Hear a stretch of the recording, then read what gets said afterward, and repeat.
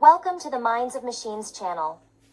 In today's tutorial, we are going to explore a basic neural network setup using NumPy and the NNFS library.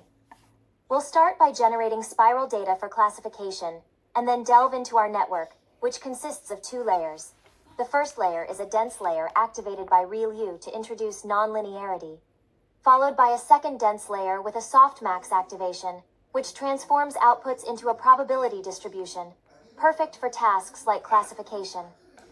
This session provides a practical demonstration of activation functions like ReLU and softmax, crucial components in modern neural networks. Let's dive into the code and see these concepts in action. So now let's see how we implement this code line by line. Uh, first, we will import the math library, the import Python math module, which uh, provides access to various mathematical function.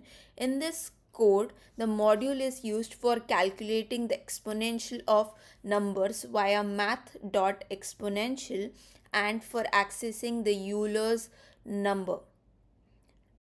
Next, we will define the layer output. Here we define a list called as layer outputs which contains three floating point number and this could represent the output from some neural network layer before an activation function like softmax is applied. Then after that we actually uh, use e equals to math dot e which is a Euler's number though you could also directly use math.exponential. E is assigned as value of Euler's number approximately uh, 2.71828 is the value of Euler's number which is the base of natural logarithms and the key constant in exponential function. Here an empty list of exponential underscore values is created to store the exponential of the layer's output. This is the for loop that iterates over each value in layer's output, calculates its exponential value using math.exponential output which completes uh, and appends the result to the exponential value. This process converts the original value into their exponentials. For example, math expression 4.8 uh, uh, would be calculated as e raised to 4.8. And now we are going to print the exponential values which contains the uh, exponential of the original layer output. For instance, after this step, the list might look like uh, for example 1.2 121.5104 uh, or 3.3548 or 17.0558 so this is how the exponential values will look like. And after that we will calculate the normal base value uh, which means the this calculates all the uh, uh, sum of all the values in exponential value and stores it in norm base. And the sum is used to normalize the exponential value ensuring that their total sum uh, to 1 as required by the softmax function. Then we normalize the exponential value uh, using list uh, compression. This uh, line which you can see is norm values is equals to bracket values divided by norm base for values in expression values. This line is a list compressor to normalize each values in the exponential value by dividing it by norm base. The result is a new list. Values are scaled to sum to 1 making them probabilities. Next, we will print the norm values. This prints the normalized value in norm value and these values now represent the probability typically between 0 and 1. Then we will print the sum of the normalized value because we have normalized them that is divided each by the total sum. The sum of these normalized values should be very close to 1 with minor floating precision errors. Print the norm values and after that we print the sum of the normalized values. So here we are trying to uh, normalize it to 1 so that we can get better result. So these are all arithmetic operations which we apply in our neural network so that our neural network should know what the output looks like or identify how the output looks like. Now let's walk through a simple implementation of the neural network using the Python and NumPy libraries. As we saw in the previous uh, part of the code, how the numerical functions are used and how they generate the output that uh, same function we will be using in our current neural network. So before starting that i would start from the start of the code. That is first we import the math library as you know it provides the mathematical function then we import the numpy library as np and is used for numerical operation particularly matrix and array manipulations. We then also import NNF as a library designed specifically for neural network programming and use it to generate a spiral data a common data set for neural network demonstrations. This library I came across when I was learning uh, neural networks.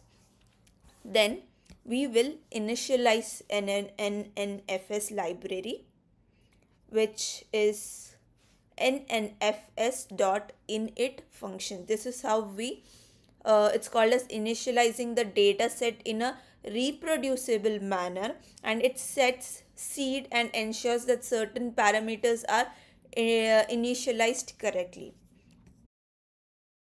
Next, we define the layer classes. So, in that, we define the self n input and n neuron inside which where uh, n neuron is uh, is the number of neurons in the layer and n input is the number of input features for each neuron.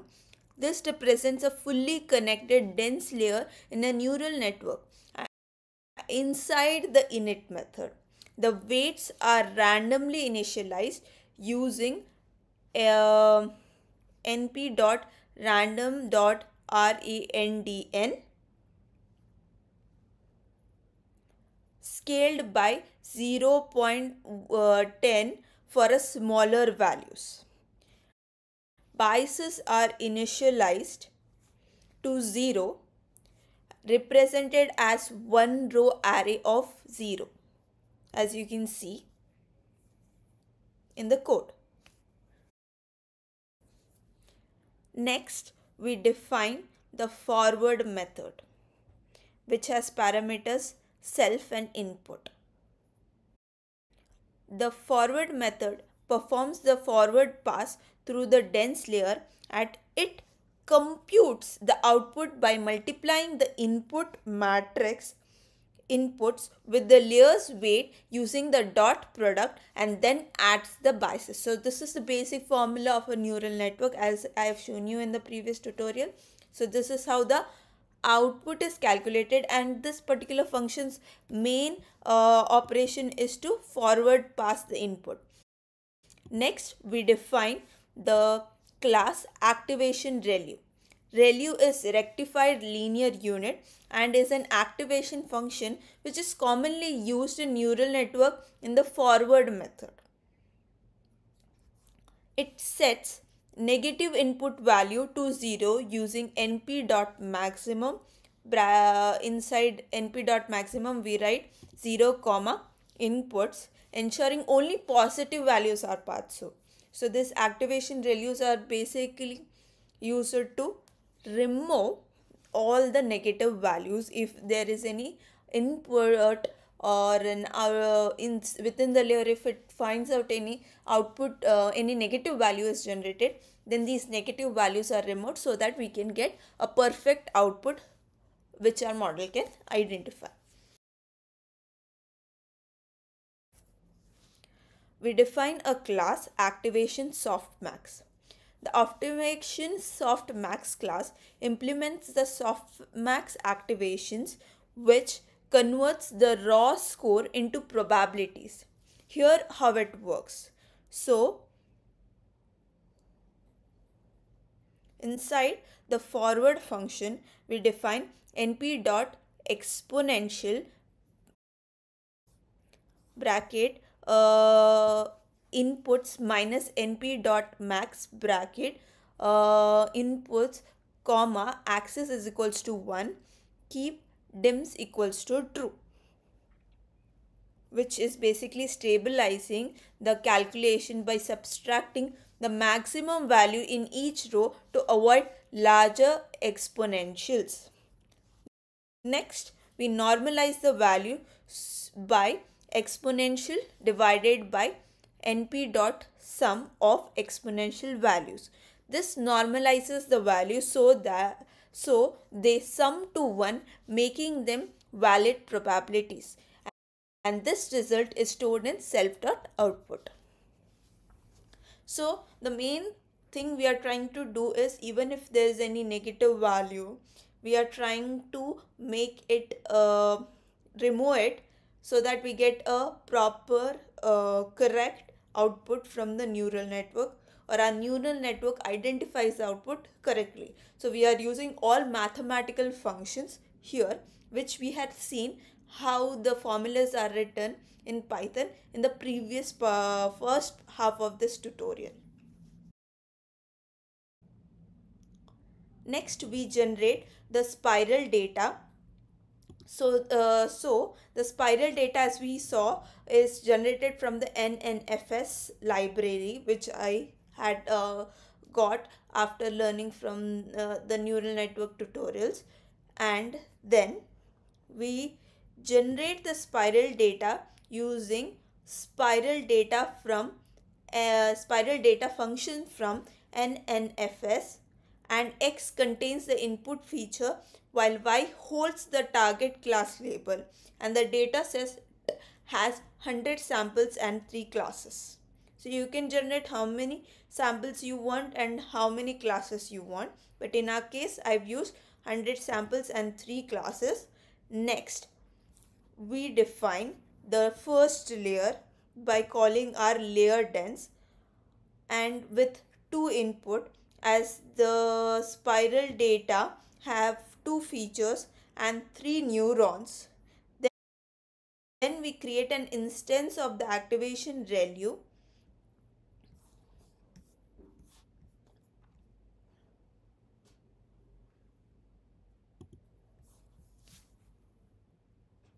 after creating dense one layer we define the second layer dense 2 taking three inputs from the previous layer three neurons and outputting the three neurons for the three classes. Then we instantiate activation softmax now we perform the forward pass.